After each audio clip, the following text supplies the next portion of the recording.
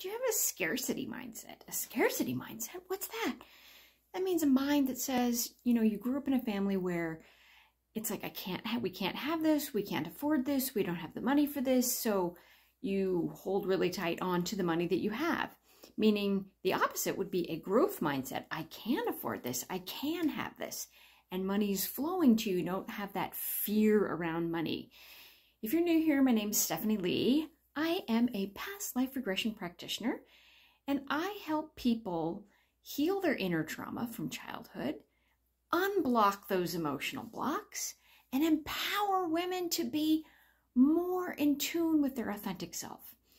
So, in a past life regression session, you can ask your higher self, hey, how can I have a more growth mindset? What can I do to kind of change those old beliefs that are no longer serving me?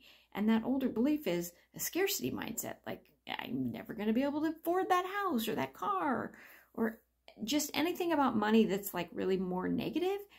Asking your higher self, what can I do to grow my mindset that money comes to me easily? What are the questions that we can ask your higher self to empower you to be that money attraction loving person, right? So that we're out of scarcity, we're into growth.